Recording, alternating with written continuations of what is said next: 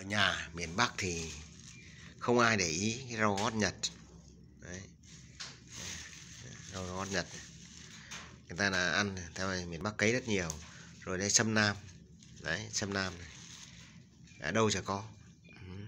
Thế mà là không ai chịu ăn. Toàn thuốc cả. Cái này ngoài để không ăn nhá, cứ à, ăn à, à, cải bắp cơ su hào cơ rau muống rau ừ, ấy ngon cơ. Còn những cái vớ vẩn không ăn đâu.